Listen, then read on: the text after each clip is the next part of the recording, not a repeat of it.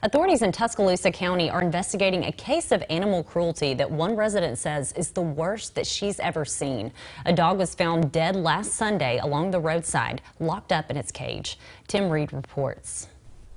This is where the dog was found dead here inside of its cage last Sunday. This area is an illegal dump site. Authorities believe the animal was tortured and starved to death. Someone that is capable of this level of cruelty and abuse is certainly a dangerous person. Holly Swain made the report to police after she found out about a disturbing case of animal cruelty. The dead dog was discovered locked up inside its cage.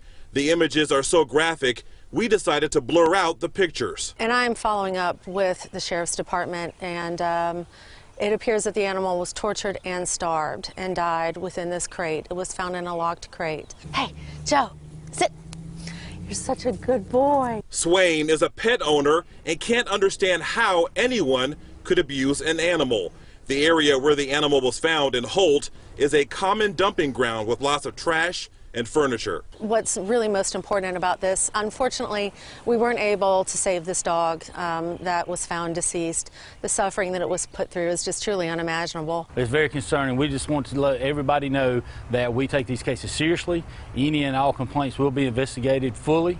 Uh, any probable cause that would be determined uh, for a crime to be committed will be result in criminal charges being levied. And I hope to find who is responsible for this, and again, to stop further cruelty to animals. There's a $1,000 reward that's being offered to help police solve this case.